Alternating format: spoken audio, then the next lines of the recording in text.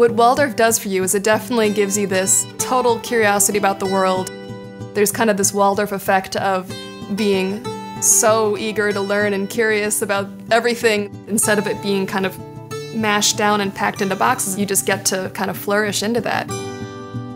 The thing with Waldorf is they teach you how to learn. And not only do they teach you how to learn, they teach you how to want to learn. Creating this desire and ability to find the answers that need to be found and to seek out the information that you need, which really gave me, I feel, a wonderful base, particularly in those sciences that I kind of drifted towards um, later on in my education. I could land anywhere and hit the ground running without really skipping a beat. I can't promise that I'll only do film for the rest of my life. I'm going to do it until I stop loving it. And I think having that confidence that I have permission to do that is something that Waldorf really instills within you. I really enjoyed the arts um, and, of course, a lot of the, the kinesthetic stuff metal smithing, handwork. I still knit and sew today. The artistic kind of fields or disciplines that we did, I think, really contribute to this this idea of thinking outside the box and thinking about what other ways can we approach situations. How can we be creative? And I think that's really important when you work in a large bureaucracy like I do.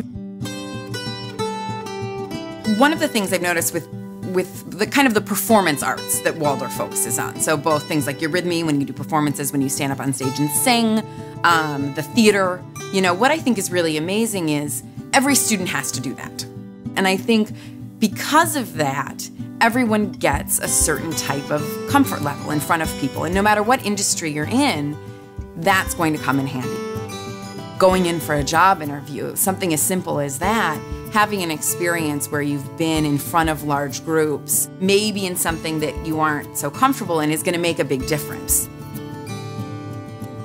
The activities we did in craft, knitting, working with wood, working with stone, manipulating objects, allowed me to develop this idea of, with a sense of shape and, and geometry, a relation between objects.